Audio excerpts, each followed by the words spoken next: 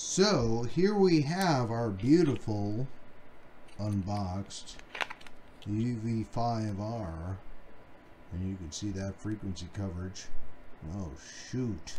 We are stuck 144 to 148, 430 to 440. But you saw I could not open the box beforehand. So what we're going to do is just power this up, poke the battery out of the box. Still have our packaging on it. 464? Really? That seems a lot of range. As is that receive only? Hmm. Let me do a real quick test just while I'm at it. These are the new ones. You saw the label. So they should have extended receive and lock transmit. Uh, you know, FCC regulations and all. So there we are, 464, 425. Oh, we got 3 watts. Well, that seems to be out of the uh, 440 frequency coverage, doesn't it? Well, yeah, I did unbox these earlier on the camera. Oh, I'm just throwing these around. Why not? It will start, still turn on. These are ridiculously rugged radios. But I tried to do the uh, other feature of using the uh, programming cable with the computer. Didn't work. So we're going to go ahead and do what does work. TID radio, this module, I will link a description down below in my channel. This is only a uh, affiliation link. You can go ahead and please uh, buy from me if you're going to buy it. It will support me in bringing new stuff to the channel. And only that, this is all money goes exactly back into the channel for all this fun stuff so you don't have to get into all this craziness. But we're going to have TID radio. We're going to go ahead and uh, let me use use one radio as a prop for the other radio. Believe me, it doesn't work. It's no magic, no guru science. But uh, you saw it there. Turn on the radio. We're going to use uh, the app here. This is the proper one. Uh, I did have a uh, video on that. You can go ahead and see that as well. I'm going to go ahead and write to that boom, it's automatically connecting. And you can just, as long as this thing is powered up and connected to this, you can unplug it and plug it back in as many times as power and there is connection between these two devices. But as you can see, we're already data transferring over. Show you real quick, we'll plug that in.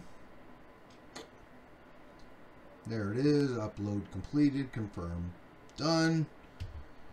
Now you'll see on here, we will now have our FRS and GRMS channels and everything else. Even though it does have a different sticker saying it's different. It is not different. I'm going to spin this radio around. I know people get crazy about how you treat radios and connectors and anyway, regardless, we're going to go ahead and just talk about this and how it is exactly the same radio under a different guise because there is FRS radio and the wattage is very low in comparison to the older units which are right at 5 watts but there's our GRMS 17 and we're still into our dummy load here so we're going to just go ahead and check in some other frequencies, going through GRMS repeaters, European PRMR uh, frequencies, which are in the uh, 446, which in the States, there's UHF.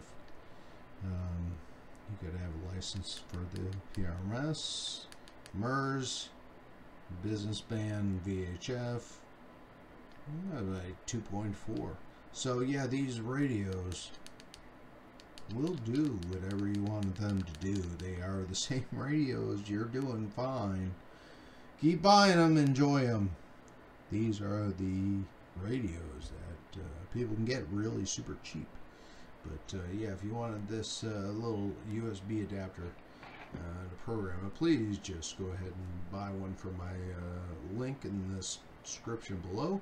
Do appreciate it.